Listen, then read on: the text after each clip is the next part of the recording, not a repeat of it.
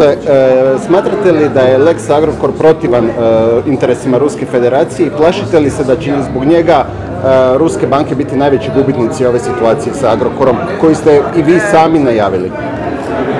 А, Вы э, как как вы думаете, что э, закон Lex Agrokor э, э, как бы плох для России и что российские банки боятся того, что они будут, потеряют э, в этом, э, в этом в этой, в этой всей а, игре и в этой всей- системе э, Ну, э, в понятно, случившейся понятно. ситуации, в сложившейся ситуации. Э, Мы не имеем ничего против закона Леха Агрокора.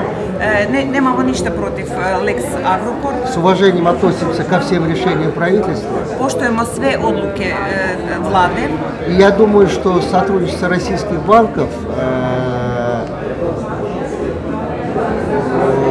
с Агрокором продолжится в интересах, прежде всего, стабильности, экономической стабильности Хорватии. i ja mislim da suradnja sa e, ruskih banaka sa Agrokorom će se nastaviti u interesu sa očuvanja stabilnosti najprije Republike Hrvatske.